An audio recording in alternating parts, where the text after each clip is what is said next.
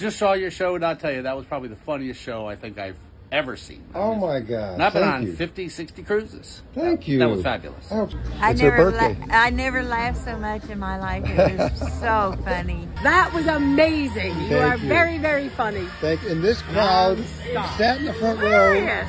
They were the best. They were the best.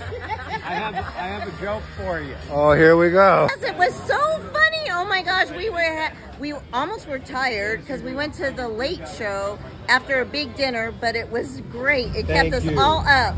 And that's her fifth jar of communion. No, No, it's not. this lovely British lady saw my show. She remembered my name even. I remembered your name. I I remembered your name as Michael Joiner.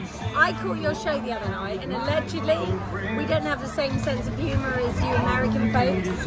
But I literally, I laughed till I cried. Somebody next to me, who was a stranger, actually handed me a tissue. This lady just said about my show. It's awesome. You did a great job. Thank you so much. Loved it. Notice her husband is silent. no, they're like, thank you. All right, the other night we saw you. You dogged Arkansas.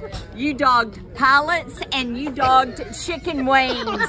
He works at Chicken Wings. He's a pilot uh, from Arkansas. Yeah.